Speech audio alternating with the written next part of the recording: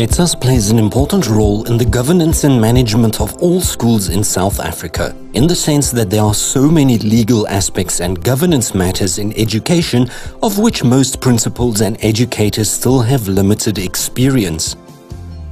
It is important for a school to be a member of FEDSAS as not only are we the leaders in school governance and management, but we also train, inform, guide and advise all our members in best practice and experienced solutions.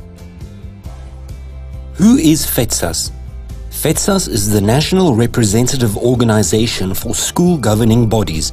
FEDSAS informs, organizes, mobilizes and develops its members to achieve and maintain the highest international standards in school governance and management. We advise within the public and private educational sectors, focusing on the foundation, intermediate and senior phases. The school's governing body or SGB operates primarily outside the classroom. It is the SGB's task to make sure everything outside the classroom is in shape. That infrastructure, discipline, budgets, human resources and finances are efficiently managed.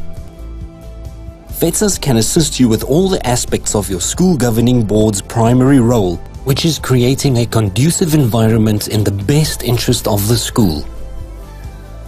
Furthermore, FEDSAS can assist in strategic planning, sound financial management and human resources aspects such as appointment, discipline and termination of contract processes. When dealing with appointments of principals, FEDSAS wants to support you to appoint the best possible leadership candidates for your school for the sake of our children. Be a part of FEDSAS and know that you are part of a larger community that will always provide you with the latest information which is accurate and reliable. There is always someone within FEDSAS who has the experience of past challenges and solutions. Simply a call away. We at FEDSAS will walk alongside you to take your governing body forward to achieve greater heights. FEDSAS has extensive experience in education matters as an active, dynamic organization, it is fully informed of developments and restructuring in the education field and can advise its members accordingly.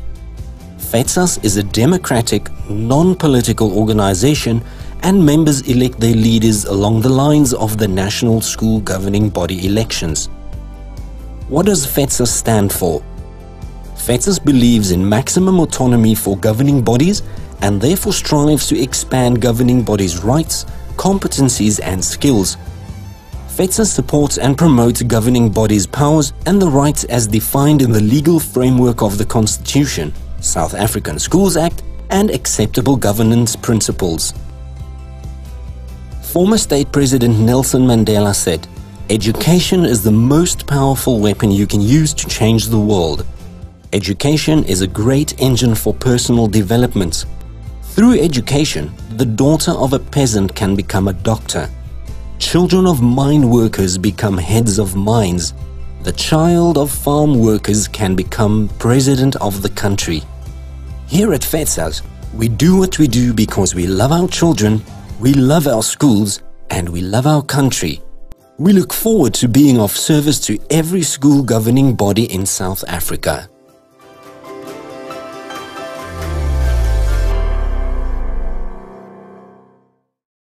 Good afternoon, everybody. My name is Ilse Odendaal, and I'm here in the Western Cape, and welcome to this session. Before I hand over to Riaan van der Bergh, who is going to lead this session, I just want to handle all the housekeeping. So let us start. Sorry, let me just get my. There you go. Sorry, let me just get that right. We've got a, a, record number of registrants for this session. So if we don't get to your question, please contact Riaan van der Bergh.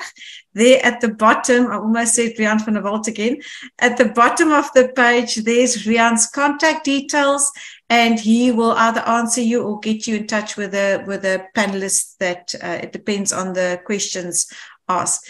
And then also, um, this is Riaan van der Bergh He is our Deputy CEO and he's going to start this presentation. Riaan, thank you. Over to you.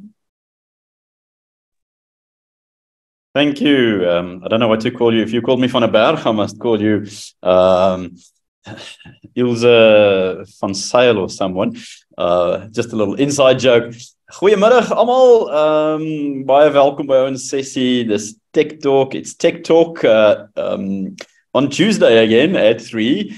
Uh we've been uh, on air a little bit less this term. It's been really busy, but there's so many pertinent issues that's uh, coming our way if we follow the news. Um, if you just blink, there's education news on, on the headlines. Uh, if it wasn't ChatGPT early in the year and still continuing, suddenly PIRLS hit us middle of May. And uh, yeah, I think if I look at the um, audience, we're, we're going to be more more in the English vein today. So uh, um, excuse us that we, we can't run the session twice. Today's topic why does it fit into the Center for Technology and why are we talking about it? Um, the results of what we do at school is a direct um, result, direct output of good governance and good management. Professional management, the school management team. Governance, the SGB, of which in most cases the management team is part of, the principal at least ex officio. So, so what we do in school must render results on where we spend our time, our resources, and our money. And suddenly, the PIRLS discussion was uh, you know, dropped into to the media space. I want to share my screen quickly and just run through a few things. Uh, let me just share the screen before running the PowerPoint. Um, and just share a few thoughts um, as an opening. We've got two great guests today. Um, Themba from Purple Mash and 2Simple, and then Thanaa from Snapplify. And we've been you know, partnering and working together with tech industry players over the past few years, bringing solutions to schools that fix real problems. and solutions is the focus, not a product. So that's why we talking with with two great guests today. But just as an intro, I want to say, let's talk about PIRLS reading for meaning. What is it that that we're actually trying to solve here? And uh, as a starter, let me just take this pane out of the um, view. As a starter, just one headline International study reveals that eight out of 10 grade four pupils in South Africa can't read for meaning. Now, that is scary. that is a scary thought. But when I try to unpack it and frame it in a sense of what was it before, what should it be, where does it fit in? We're one of 50 countries that participated, one of two countries in Africa that participated.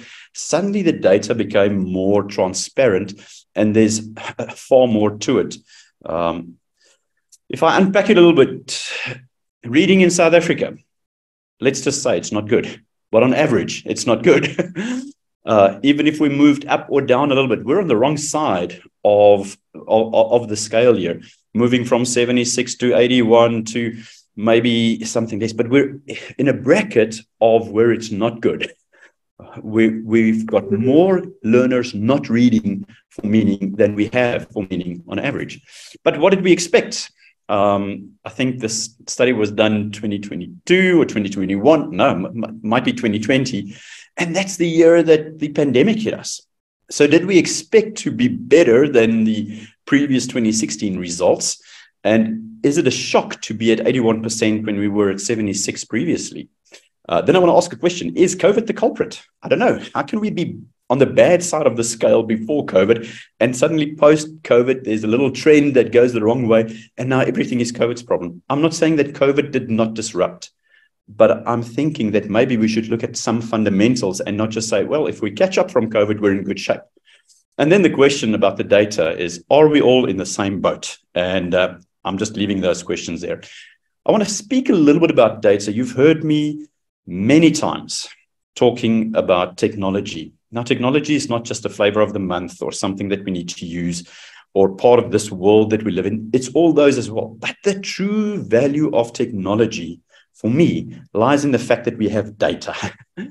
Technology generates a lot of data. If all of you do this, um, don't know which side you wear your watch on, a lot of you will look down and see, but I've got a very expensive computer, not a watch, on my wrist that gives my medical aid a lot of data, that helps me train, that gives me a lot of information. And without doing anything different in life, we generate data. So the value of data is what I want to talk about in this frame of PIRLS.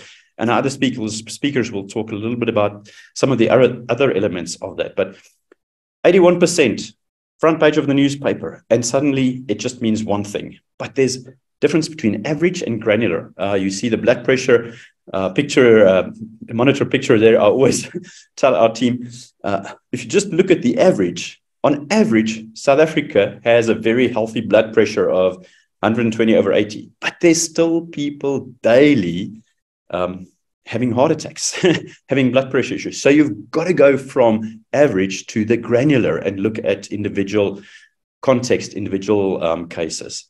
The collection of data. We've got to collect far more data, but sometimes we just do what we do without collecting data. We stop what we do, and then we've got to do a report. The opposite of what our smart watches and our phones do. Um, and, and I want to put that to our guest speakers who's going to talk a little bit about some of the solutions they might have that collect data that can see so that we can put diagnostics in place for the purpose of this discussion about data is the value of data gives us the ability to take good decisions and uh, I will yeah get to the end of this as well. If we know where it's dry, water there. But if we water all over, even where it's wet, we might just drown the plants. So so we've got to think about it. Just a little story that made data easy for me. Top picture, that's data. A lot of just colors and blocks and everything in a heap. Yes, we've got data. If we sort it, we see how much we've got in yellow and blue and red. If we arrange it, oh, now we see yellow is more than blue and but it's still not telling a story. If we present it visually, suddenly we see we've got pie charts and bar charts and everything. But the true value of the data is the story that it explains. so all those blocks can tell a story. And that's what I want to do with PIRLS a little bit today. So the PIRLS story for me is 81%. Is it good or bad?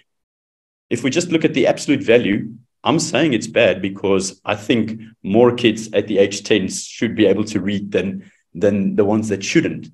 But we look at an absolute value and we don't know what to compare it with. If we look at it compared to 2011, we see that the trend uh, has improved and suddenly gone the other way around again. But we might have expected that given that the COVID uh, disruption was heavy on the vulnerable people in the country. So it's it's possibly a good thing that we're only at 81 although it's never a good thing. But we could have been at 90 given how, how uh, drastic the pandemic was. But we should not just look at that and say, okay, well, we'll just turn the trend around. Where should we be? We compare the number with others, and in the 50 countries that participated, we are the worst. But there are a lot of countries that did not participate. That doesn't make us better, but we've got a benchmark and see because our kids are going to compete in the marketplace with international kids at some point in time in their lives. So we've got to know where we pitch in the benchmark and then compared granularly into the other provinces, other contexts, and there's some detail. So I want to urge you guys get the report. Don't just look at the headline. And then the challenge for your school, uh, for your SGB, for julle bestuurspan, vir julle klaskamers, what is your school's number? it's all good and well to say we're in South Africa and 81% in South Africa.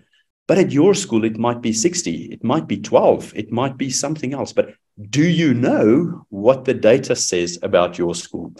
Um, PIRLS story, just wise. I don't know. Could could this be? And I'm not saying this is the answer, but uh, hearing the minister talk, she's very strong about mother tongue instruction. Uh, we see the pictures of classrooms being overcrowded. Uh, we are concerned about infrastructure. Could that play a role? Traveling time to school, teaching methodologies, reading culture. Do parents read? do we read to our children? Or do we all just watch videos? And then critical one, access to books. And I'm going to ask Thanaa to talk about that at some point in time.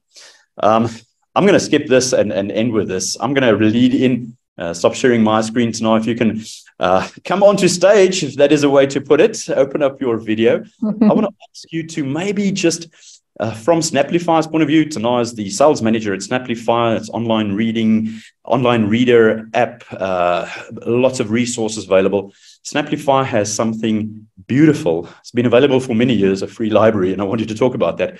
But there's something else about diagnostics. There's something else about reading culture. Um, how can you, from Snapplify's point of view, speak into this space and possibly mm. assist our schools in going forward? Uh, I'm going to allow you to do a little presentation and then we'll take questions. Perfect. Thank you so much, Riaan. I'm just sharing my screen. There we go. You're good. Perfect. Thank you so much, Riaan. Good afternoon, everyone. We are really excited to be a part of this webinar. And as Riaan has mentioned, you know, reading is such an important aspect, I think, at schools, especially, you know, whenever we uh, work with a school or we meet with a school, it's the one main area that we generally discuss and that comes up um, as a point of importance. And um, at Snapplify, reading is really close to our hearts. We, and I'm sure that everyone else in this webinar is um, at the same point. So I might be uh, preaching to the converted. But thanks so much, Riaan. Um, my presentation today will speak exactly to everything that you've just mentioned. So I'll jump right into it. Um, so when we meet with the school, the first thing we do is we try to we we ask a few questions, and that is just to gain an understanding of the current lead reading landscape at the school. So what are the current reading strategies that are employed at the school? Um, what are the barriers to reading that they're experiencing? Accessibility, as you've mentioned, Riaan, and then the important thing is metrics and analytics, because that will give us, you know, and, and it will give teachers, educators, everyone, all stakeholders at the school an understanding of um, what the requirements are and what that will inform the solution and the treating, teaching strategies going forward. So the basic premise is that we're really trying to, you know, whenever we meet with the school, one of the key things is to grow a leading culture and especially grow a reading, uh, a culture of reading for understanding. Um, so, or reading, uh, reading with comprehension, and to help learners become lifelong readers. So, even if we look at just improving the children's reading from five minutes to 20 minutes every day, it makes a massive difference in their vocabulary and then in their performance and assessments. So, just a, a few fundamentals of um, one of the reading programs that we offer and when it when we do assist schools with reading strategies, there are a few key areas that we look at. So the first is that you know reading comprehension really impacts every area of academic achievement and it affects every curriculum subject. You know when a student is given a summary or an activity or a textbook to read it's very important that they are actually not just that they can read the text but are they understanding the instruction? Are they understanding what they are reading? You know traditionally the responsibility of growing and reading comprehensions has fallen on the librarian or the language department. But we know the reality is that reading really improves performance in all subjects. So we can draw the conclusion that if we can improve reading um, comprehension, we can improve the results of learners across the school and then contribute to um, the academic success of learners in the classroom. And then the second image, there's no real shortcuts to grow, you know, reading comprehension. Once a child is past the foundation phase and has generally learned the ABCs and phonics, then the only way to improve reading comprehension is essentially just to read more. And um, however, and often overlooked, the element is that children need to be reading on the correct level. And I'll go into this in the next few slides. And then the last point is, you know, once they're reading more, we know that they're going to have a higher level, I would say, of content knowledge and then just perform better, not only in school, but generally in life. And so, one of the um, keys to success, we believe, is being able to get the children reading on their correct reading level. So, not based on what their age is or their grade is, but where are they on their reading journey? And research has shown that to grow reading comprehension, we're really aiming to get, you know, to a 75% comprehension level. And now there's nothing wrong with them reading and enjoying a book that is too easy, except that it doesn't really stretch their comprehension abilities. So um, we would say, you know, anything below 75%, that's okay. But is it stretching their reading um, with comprehension? And on the other hand, if a child is understanding less than 75% of what they're reading, this is often where we see children developing, I would say, a bad connotation with reading or a bad identity as a reader. And that starts as early as grade four, you know, when they are actually exposed to reading. and that is cemented in their minds. So students will either say things like, I'm not a reader, I belong on the sports field, or, you know, reading's too difficult, it's not the thing for me. But it's only because they were, they might have been exposed to a book or um, a reading level that is just not on their level. And then, so what we do is we use the Lexile system at Snapplify as a reading metric. And I'm not sure, it's been around since the 80s. It was developed by a company, I think, called MetaMetrics, and it's used all across the world. Um, and so basically, what we do is the Lexile framework or the Lexile level measures where they are at on the reading journey. So, not what the grade or their age is, but um, and it also what it does is it measures the text that they're reading according to their level, and it matches the two. Um, and it identifies, you know, what one of the, the programs that we offer is we identify that Lexile level and we match the book that is perfect for their reading level. Um, and so there are different Lexile levels that we use. And the great thing about it is that because it's well researched, provides the school with solid metrics that they are able to gauge where the reader, what the reader is reading against. So, um, as an example, if we have a grade 11 child, you know, sitting with a 900 Lexile level, and they are hoping to go to university in two years' time, then as a teacher, you can see that at university level, they should be reading at this level. How can we intervene to get them to that space? So that's where data comes in. So, like you mentioned earlier, um, Leanne, it's using those metrics and that insights analytics to inform teaching strategies and um, assist learners. And my presentation covers, I would say, all stakeholders that when um, involved in reading. So the students, the educators, and the parents. Now, um, for educators, we believe, and this is also based on the schools that we've worked with, is that to effectively um, drive a leading strategy and foster a cult- culture of leading, we do, you know, teachers play a vital part. And so it needs to be easy and um, it needs to because as we know, teachers already have so much on their plate. There are so many things that they need to be taken into consideration. And so um, the solutions that we offer needs to be able to fit into that. Um, and so what we've also noticed is one of the big challenges about manual individual reading assessments is the time that it consumes. And so we believe it needs to be easy, it needs to be effective, it needs to empower the educators, you know, fast, and it needs to be accurate. And so um, we think, you know, metrics, very important to monitor key performance data, use that data to um, drive a reading strategy at school, track proficiencies. Um, the fact, you know, that teachers can have access to all of these insights analytics, we believe that that is vital. And then accessibility, you know, do students at schools, what do they, do they have access to reading resources? Um, and as you mentioned, uh, Riaan, our digital library gives uh, students, educators, gives everyone at the school access to over 40,000 free resources. And this covers a variety of genres, it covers a variety of ages and different languages as well. And it's free.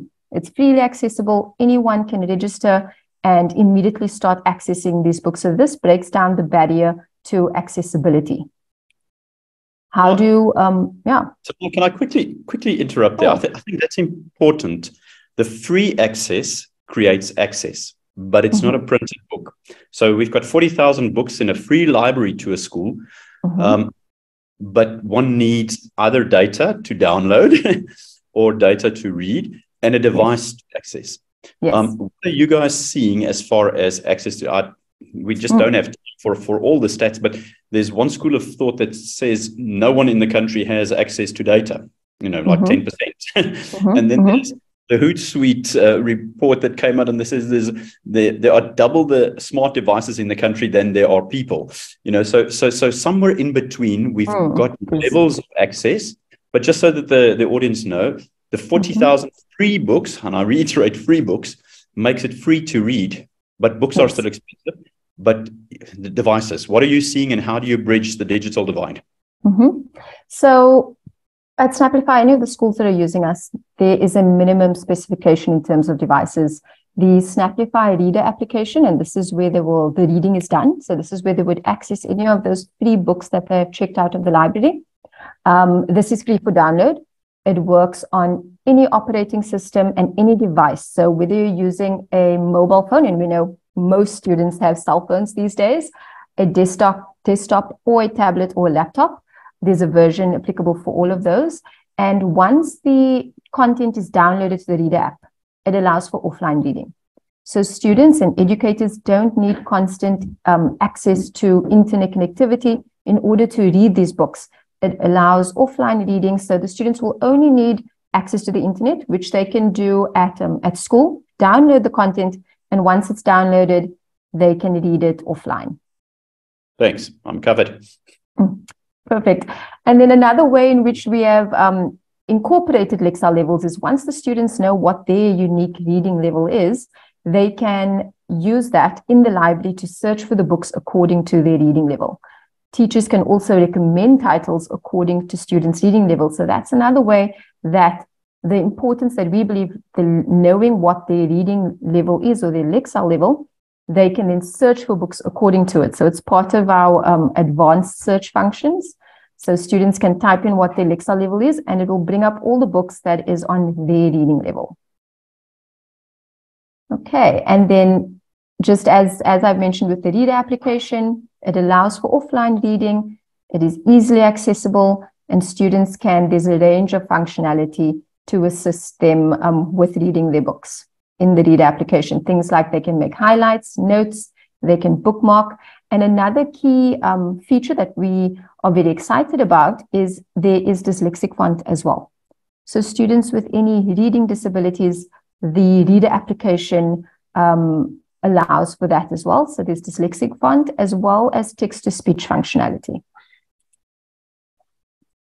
And then um, the importance, and I think one of the ways in which the solutions that we offer support schools is by gamifying reading via incentives.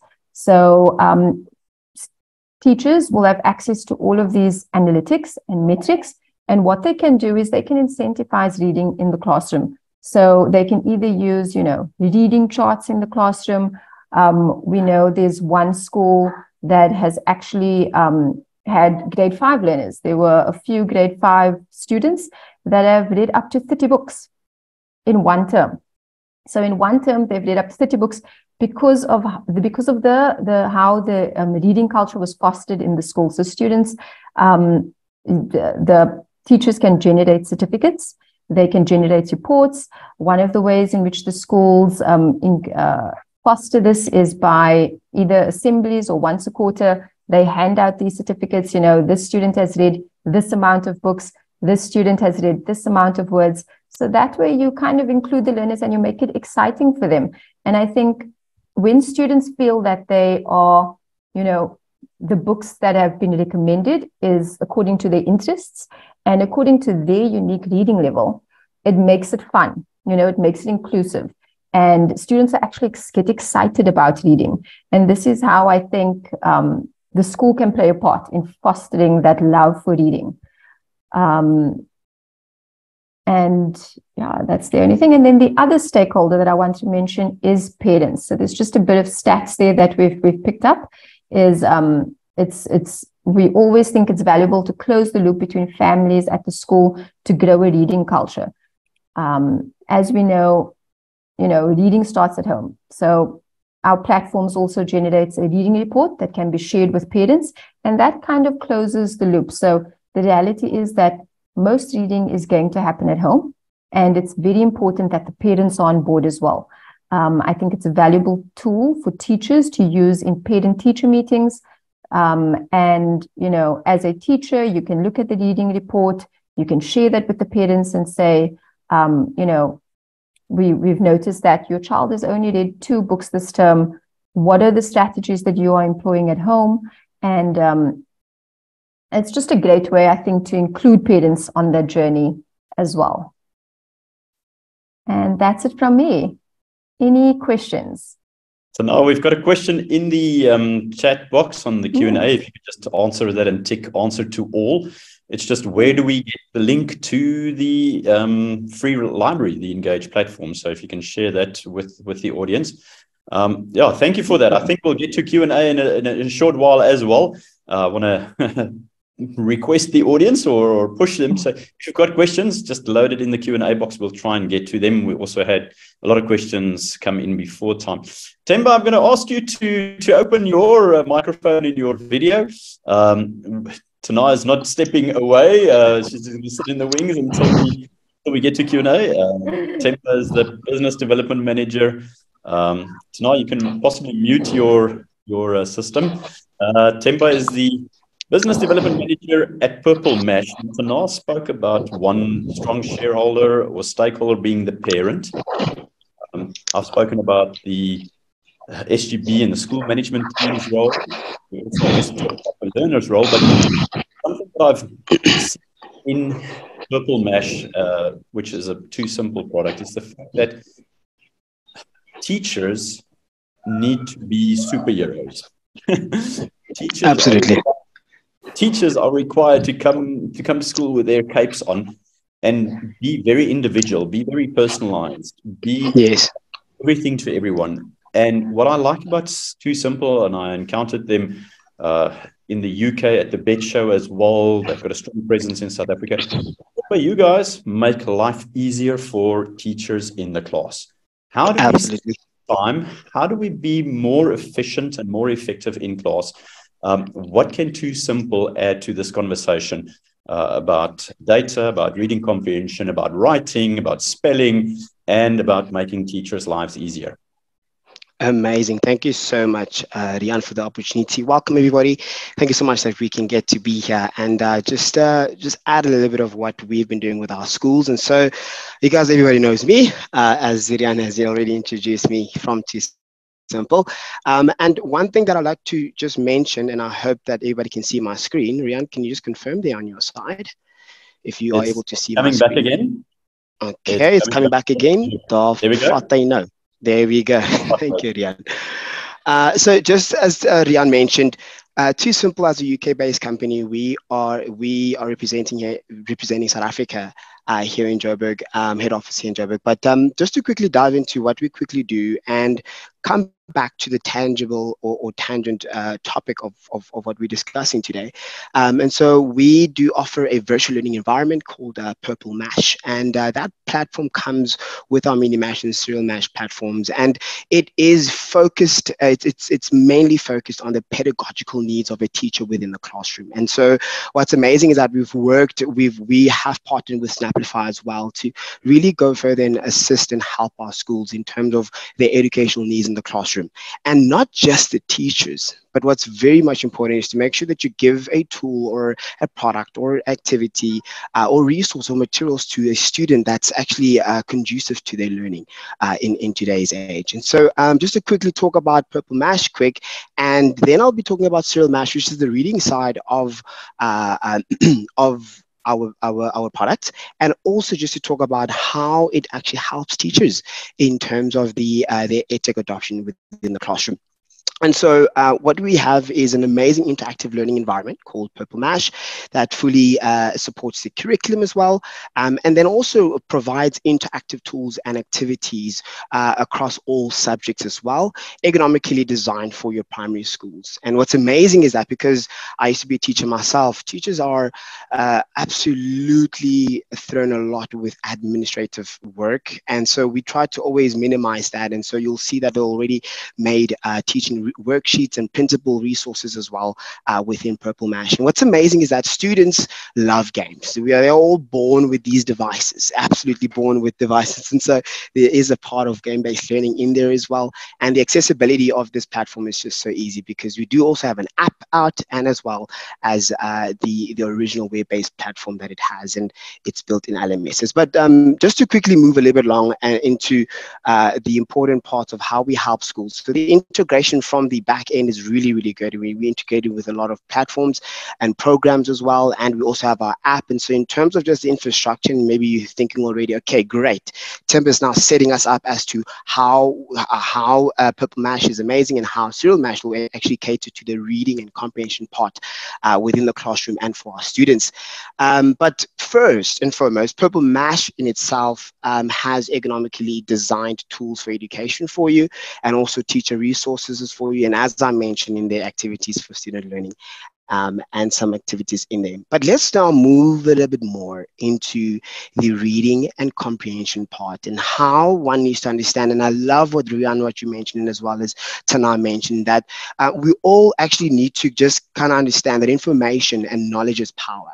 And, and how, how we get to that is the process of cultivation. And how do we help and teach our kids to acquire the necessary skills skills, uh, such as helping them uh, grow their motor skills or learn how to write. And we, from from from an educational perspective in Purple Mash, um, we do foster or help uh, uh, uh, uh teachers foster that that ethic way of using technology in the classroom, but also giving them the way to still stay to the old school pen and paper. And what's amazing is that the there is there is a good combination of how teachers can use Purple Mash within the classroom um, to actually kind of achieve that, that, that goal. And so the Purple Mash uh, language tool that we have really help teachers cultivate those skills uh, uh, uh, in, in, in students for them to understand, okay, before um, before I actually can just consume information, it's also very important to kind of uh, be able to create, yeah create but at the same time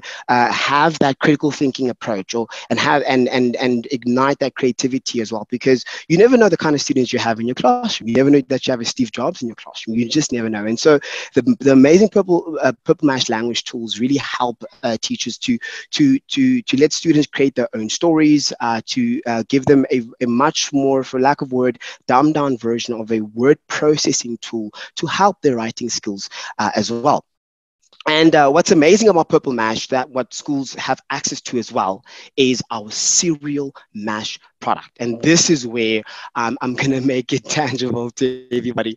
Uh, and what's amazing is our online library that we have. Um, and what it is is that it is a, it's a reading and comprehension package um, that our schools have access to. And where we have a library of a variety of different uh, uh compiled books um, that uh, that we are making av- available to our schools and over 250 books for all primary school ages. And what's amazing is we've recently also signed a partnership with uh, DK Books, uh, um, Dorling Kindersley Books, and a lot of our schools, a lot of our teachers are quite familiar with these books and they are really uh, enjoying them and loving them. And what's amazing is our schools and our students have full access to these uh, books. But what's amazing about these books is that on selective books, there are uh, immersive readers included in them, which I will also showcase for you. And also teachers are able to assign books to their students, either maybe the entire book or a specific chapter. Um, and teachers are able to actually, um, uh, uh what you call it? Um, assess their progress and see actually how far have they read and where they may be struggling as well. And what's amazing is that within each book, there are built-in activities, um, writing activities, and also guided reading uh, resources in there but also to take a little bit further, some of these books, because obviously we want to cater and we want to bring this product to all of our schools, is that you don't want to limit some schools that are saying, Themba, uh, we actually need we need tangible, like a, a, a real, uh, you know, printed out book. What's amazing is that uh, our books are also printable as well, which is not something that you see when it comes to a digital uh, textbook that uh, you have access to. Um, and so, as I mentioned, teachers will have access to these books and so they will be age recommendations. What's amazing is that teachers are the only ones that are that will see these age recommendations. Uh, students won't see these.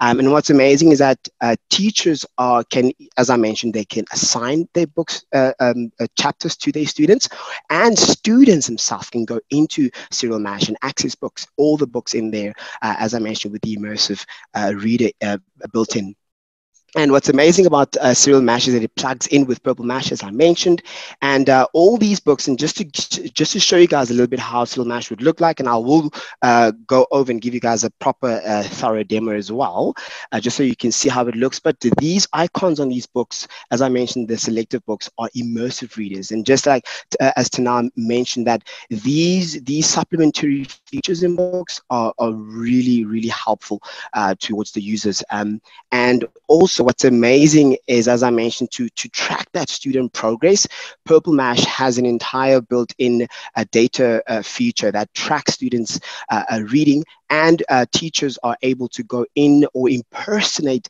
students rather to actually see um, to monitor their reading. But also what's amazing is this uh, as you mentioned Riaan in the beginning that there's the, the stakeholders such as parents which play a big part um, in in in a school adoption uh, a journey. And and what's amazing is uh, parents are able to actually manually enter uh, their reading journals as well. So if if, if parents are uh, are and not if uh, a lot of our parents, which is amazing, and, and, and schools are pulling parents more, uh, even more in, uh, is that uh, uh, uh, parents are able to assist um, their teachers um, in, in terms of taking their students and cultivating those reading and, uh, and comprehension skills. And so parents can then uh, add manually the books in here as well so that uh, teachers can see, oh, so there's actually other books that um, students are also reading. And, and how you do that is just a very easy manual of using just the, the ISBN code as well of any book that is out there. Um, and that's what one part of, of Serial Mash that's really, really amazing. Okay, so just to show you guys now the amazing platform uh, of this. So I'm in Purple Mash already. And just to quickly show you uh, a little bit more of Serial Mash and, uh, and I'll conclude, is this the reading section. So in, in, in Purple Mash, we've got four main reading areas or learning areas rather. And then we've got a reading section. Now click on it. And in there is where you is how teachers and students access uh, Serial Mash. But in there as well are built-in tools and reading journals and, uh, and, and uh, also writing projects, many, many other resources. But let's quickly open up Serial Mash. So just to save on, on internet, I already opened up the tabs. I've already prepared it for us. And so just to give you guys some visual aid as to what do teachers see and how do, uh, and, and also what do, do, do, do, do um, students see, is here I've gone ahead, I've went into a library quickly, and uh, I've chosen uh, one of our books here. And uh, before we open the book itself, I just want to quickly scroll a little bit downwards and just showcase and show you how those interactive activities are actually embedded within each book.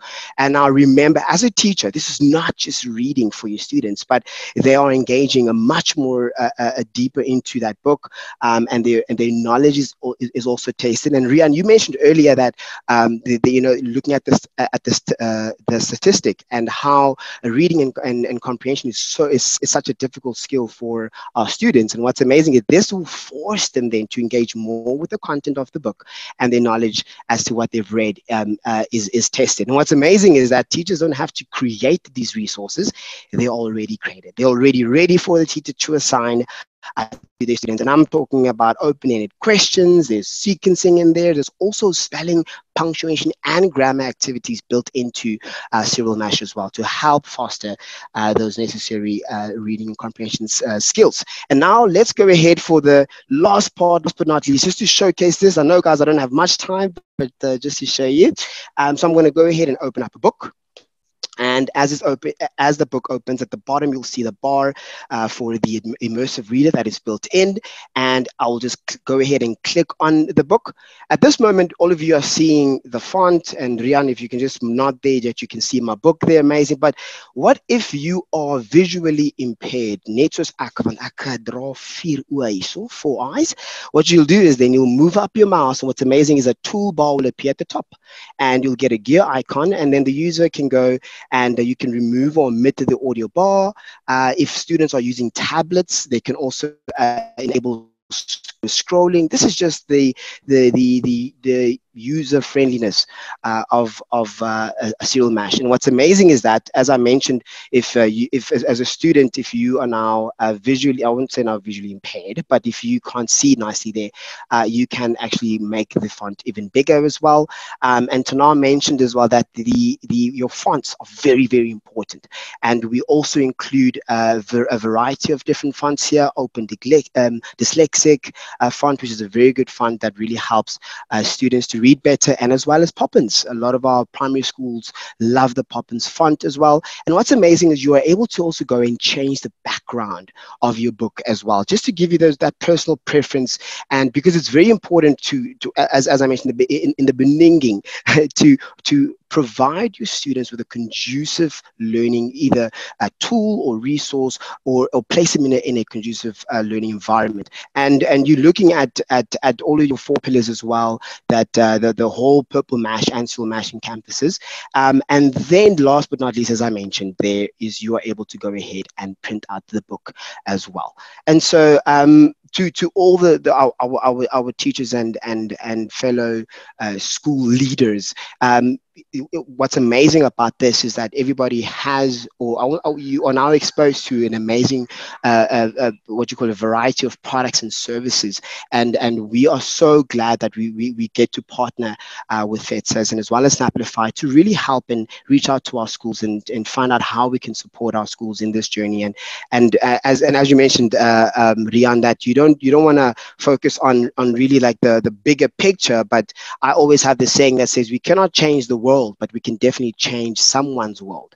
And and and uh, Rome was never built in one day. And so, uh, for for for those that are like to know more about us, we'd love to to help you uh, and and and walk a journey with um, uh, uh um uh, with you as we are working a journey with all of our schools. Um, and yeah, if there's any other questions, please let me know. But uh, you're more than welcome to go ahead and scan that QR code as well if you want to reach out to us, and you can also simply email me as well. But just uh, yeah, from our side, thank you for that. I really hope that was helpful for you there, Riaan, and for everybody else as well. And um, yeah, thank you for the opportunity.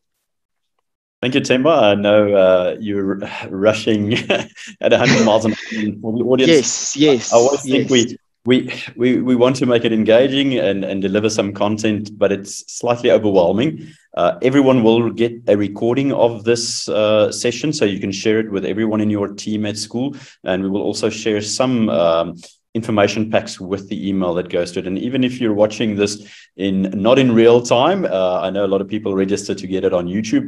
Uh, I don't know if it's going to be worthwhile putting Themba on 1.5 times the speed because he, he, probably spoke at 1.5 times the speed. Um, if you can stop sharing your screen, I just want to open up for the the Q and A. Um, there we go. Uh, Thanaa, you can open up your camera, and Themba, you can open up your camera.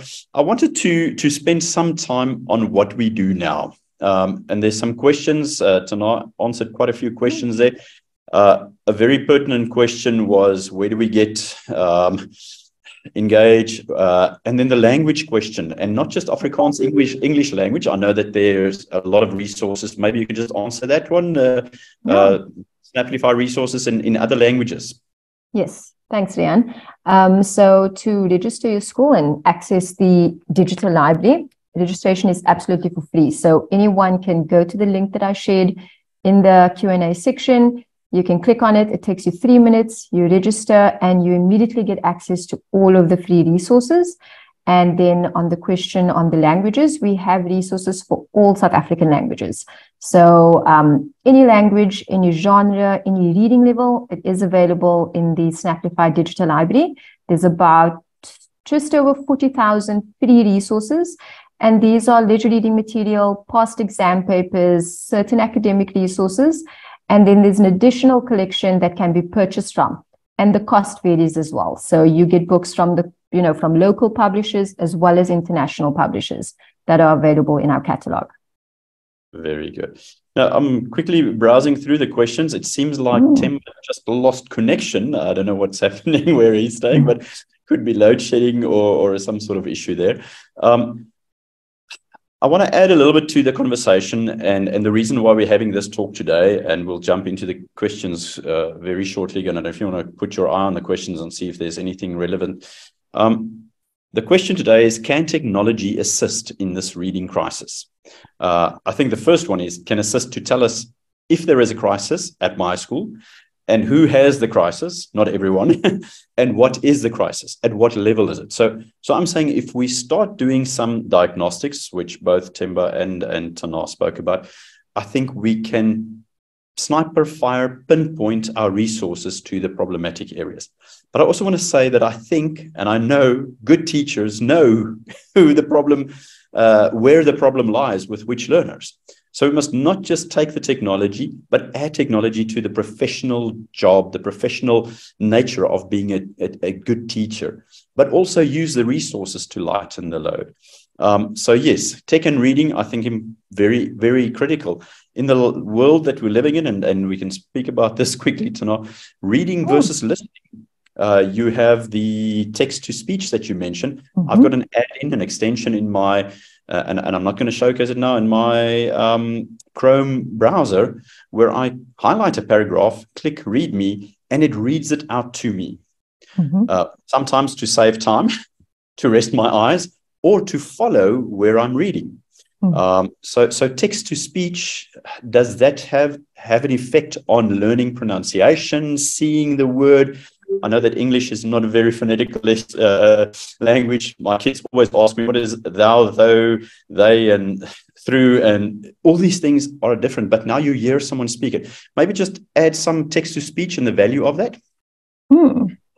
Um, so the schools that we work with, it's just an additional feature for students with, you know, reading disabilities or um, it's it's all inclusive basically. So as I mentioned, the dyslexic font that um, that assists with with with that one issue, and then the text to speech is, as you mentioned, maybe you know the student is driving on the way home or they're busy doing something else and they'd like to, you know, listen because I know I do that. While I'm busy doing a mundane task, I listen to something, an audiobook. We offer those on the platform as well. So you'll have access to audiobooks. But um, yes, it allows for for that feature as well. Whether it has an impact on reading, I can't really say. I don't think I'm an authority in that field to say, you know, how it affects. But what I would say is that it allows for um, for all of those types of uses, basically. The next, the next one is possibly uh, reading versus viewing, and I'm very controversial in this because I've done some research to see the Im- immense international explosion of consumption of video. Mm. This session is video. we could actually turn on um, subtitles in Zoom, and people will be able to read what we what we say.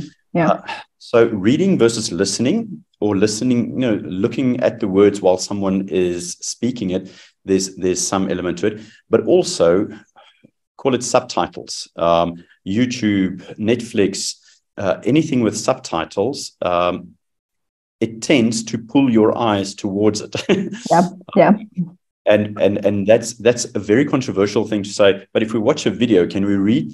Watch a movie? Can we read the movie? Can we read the text? Um, and, and I want to maybe focus on something that I saw in the UK um, and maybe get your thoughts on that. I just want to share my screen quickly, if I can mm. just jump to that. It's something called TOTS, the TOTS Foundation, and it is turn on the subtitles. And if you go and view this, now this is international trends and tools, and I'm not saying it's right or wrong, but mm. everyone worldwide is trying to fix this problem. and um, so turn on the subtitles is a foundation. Um, someone Warren, I can't remember his first name now, where they say just turn on the subtitles on TV and Netflix and that kind of thing, and kids will tend to learn to read quicker because they follow mm. the story.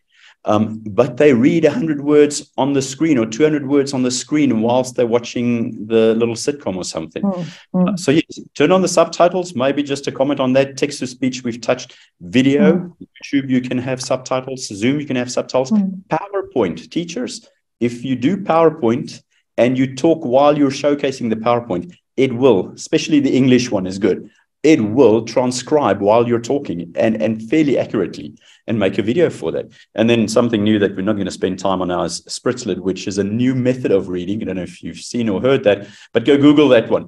Um, but your thoughts on, on subtitles mm. and improving reading? Themba, there's a few questions in the Q&A box if you can maybe jump in there and just answer. uh, no, yeah, maybe. maybe Amazing. Can everybody hear me? Yeah, we're good. Yes. Yeah, um, I think, Leanne, again, my personal opinion, I would say number one, they are susceptible to the grammar, you know, of the person that is speaking. So that is the subtitles. I know because I use it as well.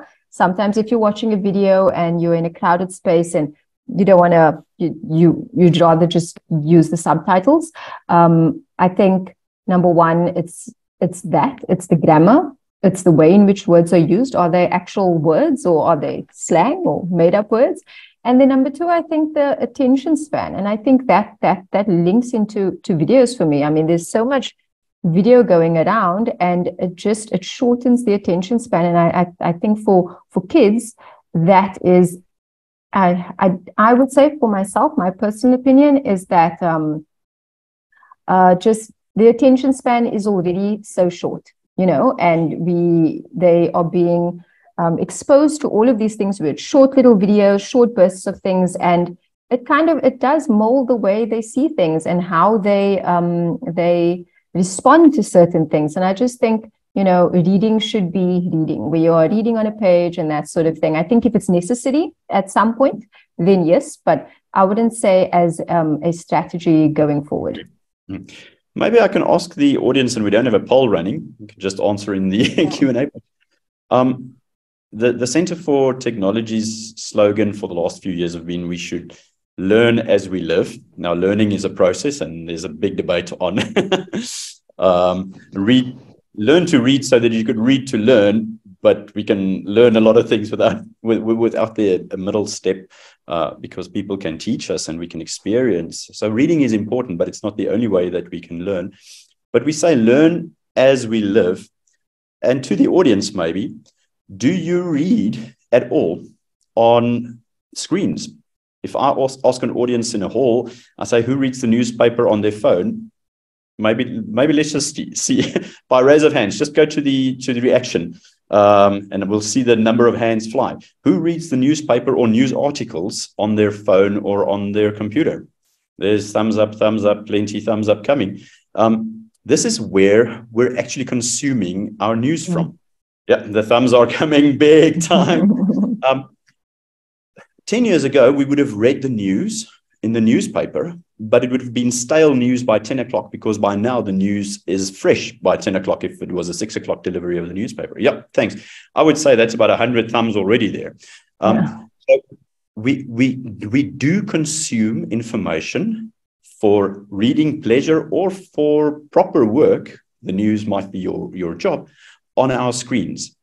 And yet we might be slightly conscious and scared of using technology in school learners reading eyes tablet time screen time all that kind of thing um, how do we mitigate and manage the risks of that so that we get the both the best of the both worlds we're reading but reading on glass is still reading or, or am i saying it wrong Themba, you, you, you nod your head there. Bietjie wat dink jy? Ex-teacher, uh, very passionate about education. Yeah, no, yeah. Are we, too um, scared of, are we too scared of the screen, or do we just need to manage it better? And now I'll get your comment and input on that as well. Yeah, I think uh, um, the the word, the key concept in in that approach is balance. And I think that uh, as long as we understand that balance is the most important aspect to kind of understand that digitally, that's where we're moving in into. It's that most things are digitized. Um, you're looking also at how schools save costs on paper, is that they would rather consider having digital textbooks. But I think just finding that balance in going back to the drawing board and still having activities that that pertains to that, um, where learning is a little bit different as well, because reading is not just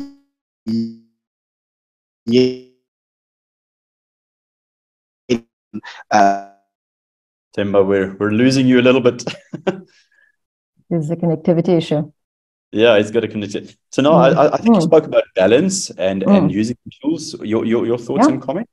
I mean, I definitely agree, and uh, a lot of the time, you know, that is a, um, a objection I would say that is raised with schools where they either believe that you know kids spend already so much time on screens every single day they shouldn't have the textbooks on the screen as well and and I think as Themba said, you know, balance. Balance is key. And I like to look at the benefits that digital offers them in that way. And then you weigh it up in that way. So if you look at the benefits, as an example, um, students, you know, I think back in, in, in my day when I was at school, I would have 10 textbooks as well as my workbooks in a bag on my back, and I'll carry it to school. you know, the, with the device, students can add all of their textbooks on their device and carry it on that device and everything is available there.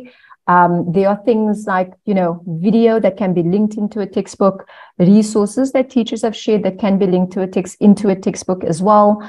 Um, and then in terms of just the insights and analytics it gives to schools. So things that physical books schools wouldn't have access to, you know, with digital textbooks, a school can, you know, have a look and see how have these students, when have they opened their textbooks? How long have they spent you know, on their textbooks? What times were they logging in? Have they actually engaged with their textbooks using highlights or have they made notes in their textbooks? These are things you wouldn't generally, as a school, have access to with a hard copy book, whereas digital gives you access to these sort of, you know, solutions and things as well. So that's how I like to measure it up, you know, the pros versus the cons. Data, data, data, where I started. Exactly. So we know, we know more about what we're trying to do. I see we're coming to the end of our session. There's still a few questions there. Uh, unfortunately, Themba just sent me a text and said he does. Oh, there he's back. Themba, I have a very, very pertinent question for you. We don't have much time. The highest grade purple mash goes up to is grade seven, correct? Question mark. Are there copyright issues with the printing of, of books? You've got 10 seconds. One, yes and no. We have some of our schools that are using it up until grade nine because of the language tools and also the coding and robotics part of it.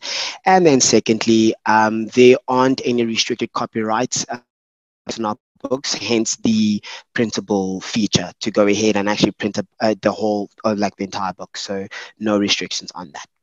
Okay, printable reading cards. Anyone? Both of you? Flashcards. I think that's how we started reading in early years.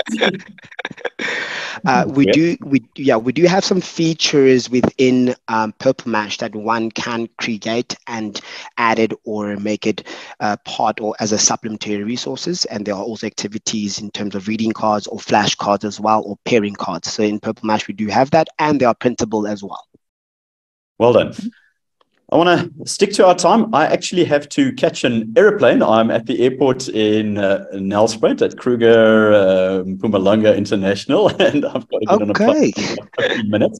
The wonder of the internet, I work anywhere. Mm. Um, maybe just to summarize, and thanks, Ilse, for putting that up. Anyone can contact me if you want to get through to Snapplify or to Purple Mash or 2Simple.